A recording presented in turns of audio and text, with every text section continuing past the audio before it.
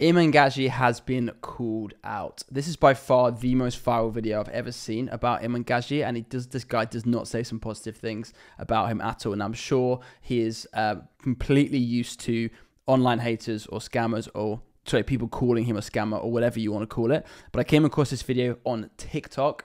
It's a 10 minute video, and it has over nearly has three, nearly 350,000 likes, which is absolutely nuts. Um, and this guy is essentially calling out Iman Gadzhi. And uh, well, I mean, we're going to watch the video together. We're going to jump straight into it now, and I'm going to show you what this guy has to say. So let's jump in and watch this video.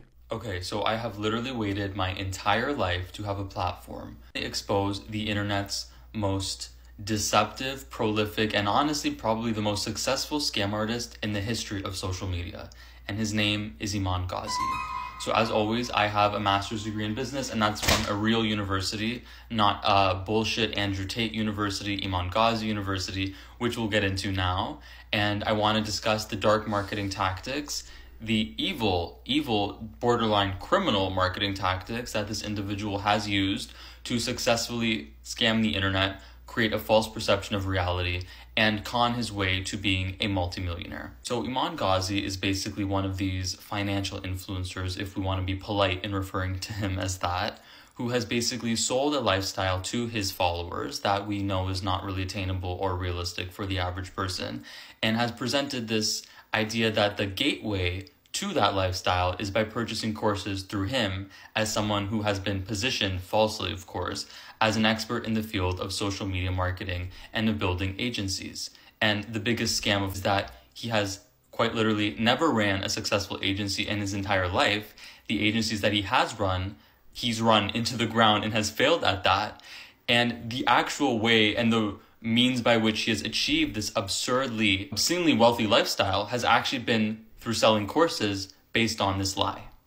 So this is obviously, I don't think this is um, uncommon knowledge. It's much easier to sell information than it is to build an agency. Growing agencies past a certain point is extremely uh, time intensive. Uh, it's a lo- much lower margin than selling information, and um, I have absolutely no doubt that uh, you know Iman Gadzhi's financial success has come primarily through selling courses or mentorship or something along that nature. But let's let's carry on. So I talk a lot about social media literacy, so I'm going to say this at the beginning of the video since it's the most important part and most of you will not make it to the end of the video. If you see somebody online who is flexing their lifestyle, bragging about the watch that they have, bragging about the Porsche that they drive, like that one girl who's like, I'm 23, I'm in a Porsche. We'll call her Scammer Barbie. Anybody who does that, when they are just for no reason at all, bragging about the material items that they have, what I want you to do is I want you to click their bio and if they have a course in their bio, they are a scam artist. So I agree. Like my biggest uh, pet peeve in like the business world is I've because I have no problem with courses, right? Um, I've bought, you know, I've learned a ton from online courses. Um, my biggest problem is when people leverage lifestyle and materialism to sell a dream or an outcome because the vast majority of people who take these courses are not going to make their money back. The vast majority are not going to succeed and not become going to become millionaires. It's just simply not. It's just simply too many people purchasing these kinds of courses for that to make any sense. If he's making tens, if not hundreds of millions of pounds, you know, it, it just doesn't. It's just not. You know, it doesn't add up. And of course, they will always say, "Yeah, well, it's up to you to put the work to build it." Of course, but the reason they're buying it is because they're you're flashing this lifestyle that obviously everyone wants to get. So I always recommend follow people who put practical and knowledgeable information out there, educate for free. And if they have a course on the back, absolutely nothing wrong with doing that. But if they're leveraging materialism to try and sell a dream, always be wary because honestly, TikTok is a minefield for this stuff as well. That's rule number one. Rule number two refer to rule number one. Start with the many lies of Iman Gadzhi, and I'm using him as an example because he has been recently officially exposed by a journalist and lawyer of the name of Spencer Cornelia, and I highly recommend you watch his YouTube video on it as it's an extremely detailed breakdown of some of the topics that I'm going to get into now. I did watch this video as well, and it was pretty interesting. Um, he goes through his businesses, and like obviously, if you're based in the UK, um, a lot of information is public, right? So um, like his public um, business records are like on the internet, so you can actually go and see them. And in that video, it, it, it, there's not much to show, right? Like he, a lot of the businesses are started and then closed relatively quickly.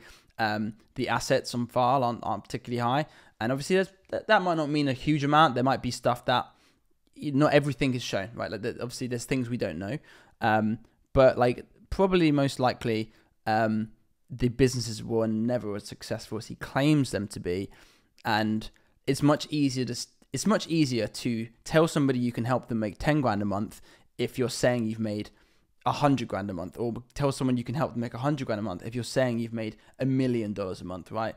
But the vast majority of that isn't coming from the agencies because it's very difficult to scale an agency to that level.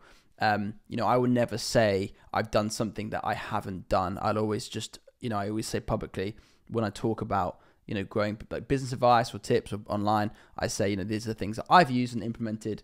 But I don't, you know, I don't know how to grow a business to a million dollars a month because I've never done it before.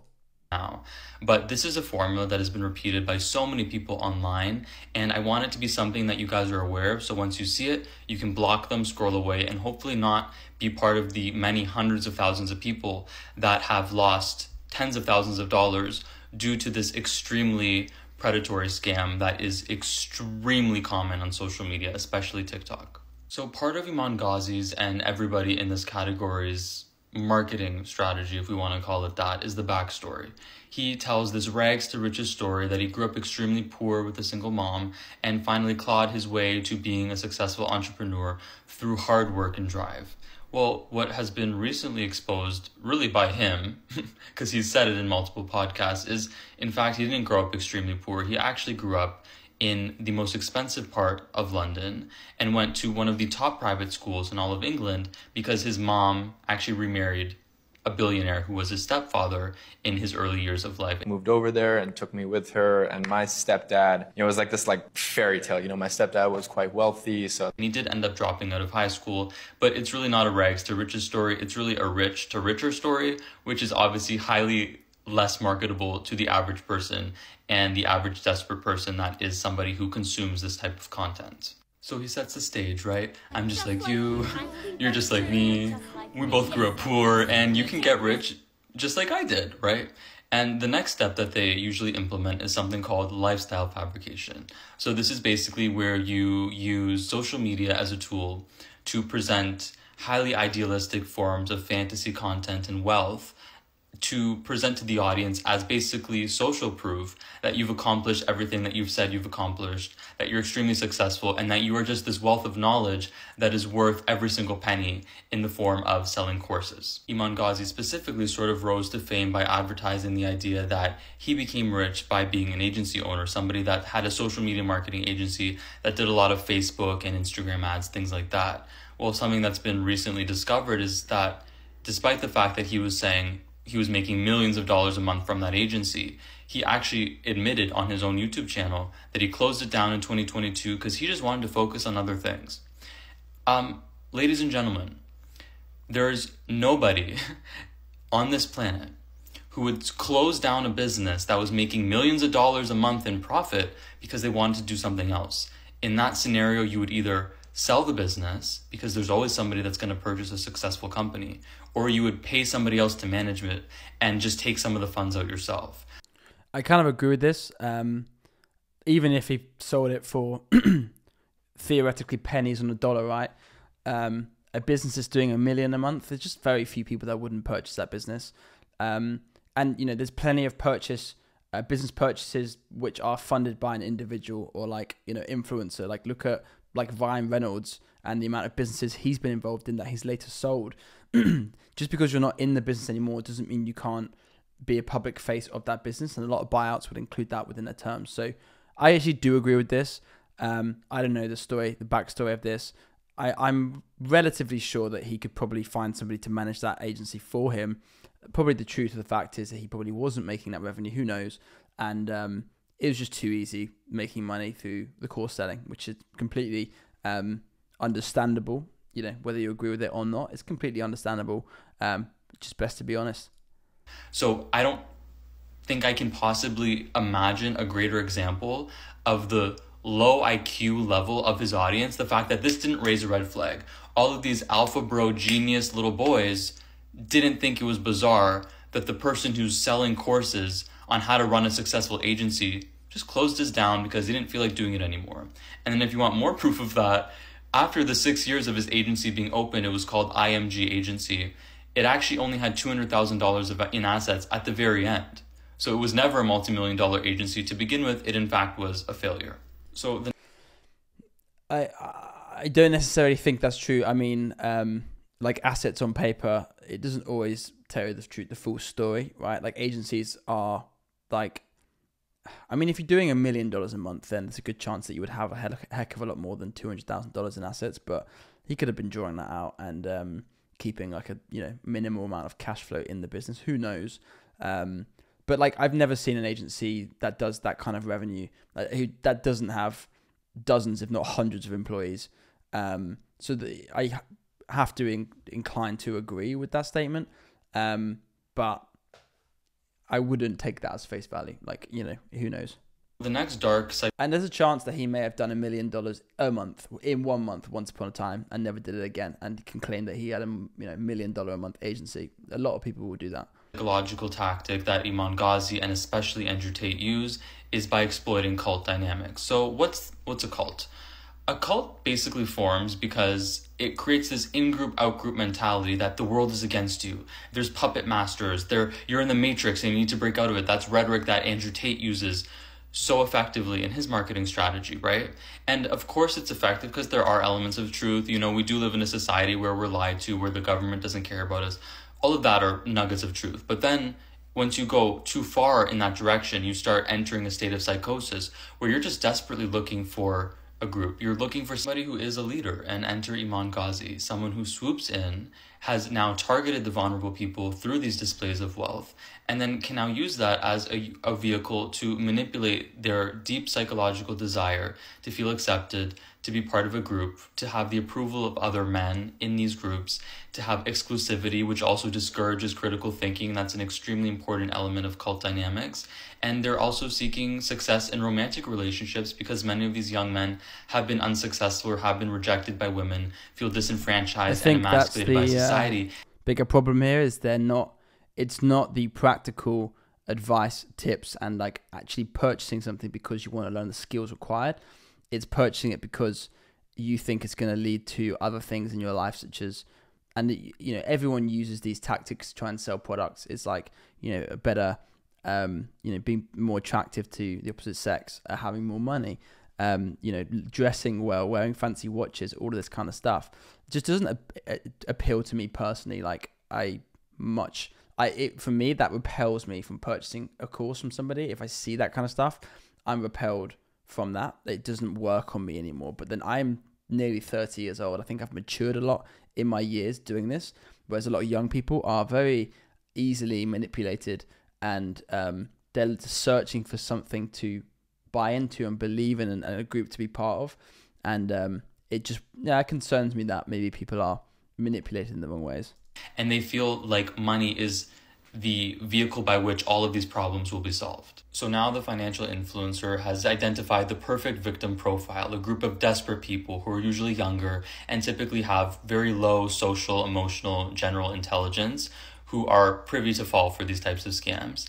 And then the final nail in the coffin is something called high pressure sales tactics. So this is basically where you induce urgency to drive desperate impulsive purchases. And this is an extremely common theme you can see across all financial scam artists across TikTok. If you click the links in their bios, there's always a countdown timer. There's always an exclusive deal that you have to sign up for in the next hour.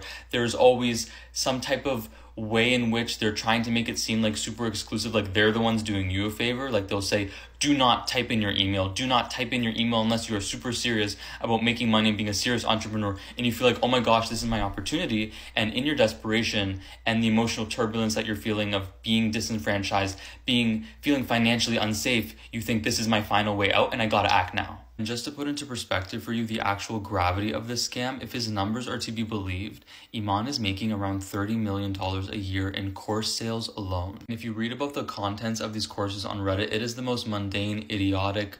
I did actually do some research on Reddit before this, and there's a ton of highly engaged posts on there. People saying he's a scammer, they've done this, they lost this money. He, you know, there is a lot on there, and it's worth a look.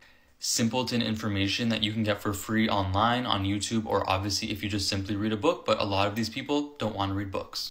I think one of the best things you can do when you're young is have access to other mentors and people around you. When I started, I had access to other business owners that gave me their time and I learned from them and I gave, they put, put, put me in the right direction. A lot of the course content and stuff can be easily found online.